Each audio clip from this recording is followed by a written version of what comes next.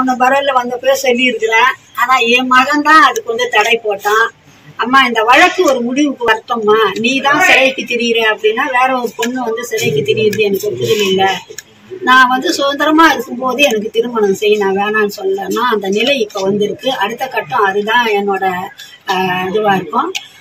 ஒரு தாயின் போராட்டம் அப்படின்னு எல்லா தலைவர்களும் சொன்னாலும் எல்லாரோட ஒத்துழைப்பு இதுல இருக்கு. நான் எனக்காக மட்டும் நான் சொல்ல முடியாது. நான் ஒரு பெத்தவா. கண்டிப்பாக என் பிள்ளைக்காக போராட தான் செய்வேன்.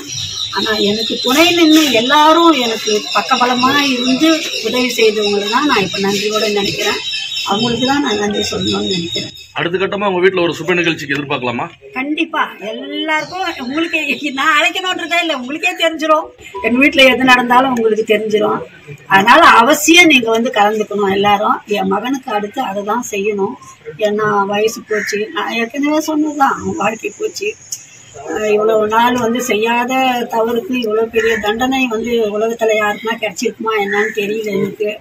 ஆனாலும் நம்ம நீதித்துறை சொன்னதை வச்சு தலைவணங்கி தண்டனையை ஏத்துக்கிட்டு எல்லாம் பொறுமையா காவலர்களுக்கெல்லாம் தெரியும் அவன் எவ்வளவு பொறுமையா கடைபிடிக்கிறான் என்ன பண்றான் அப்படின்றது. சில நேரம் நான் கூட ஆத்திரப்படுவோம்.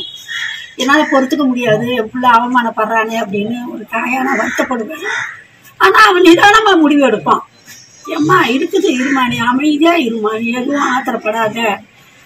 எப்பவுமே வந்து தவறு செய்யாதவங்களுக்கு கண்டிப்பா வந்து பலன் கிடைக்கும்.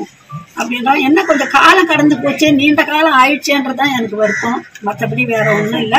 என் மகனோட எல்லா நடவடிக்கையிலும் நீங்க எல்லாரும் துணையா இருக்கணும் அப்படின்ற வேண்டுகோள்.